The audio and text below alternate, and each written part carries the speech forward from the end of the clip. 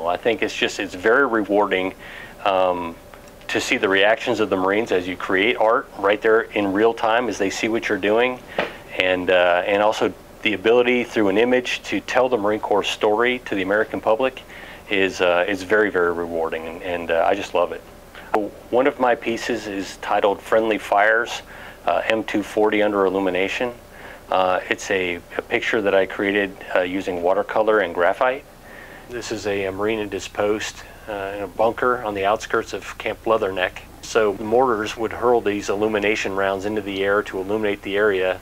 So I was standing in the bunker, I took a few pictures, and uh, this is the, uh, the image I created based on the experience. I was thrilled to learn that it was accepted by the National Museum of the Marine Corps, and for a period a little over a year, it, it hung in the gallery alongside just some fantastic, what I would call real artists. So for a, a person like myself who's has been largely self-taught to to create an image that was found to be worthy of the National Museum was just was just phenomenal.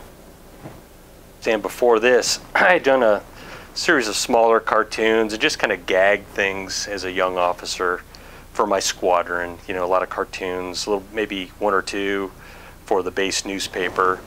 These are examples. I was a VMI cartoonist, like when I was a cadet. So I've got tons of VMI cartoons, and these are the old clippings.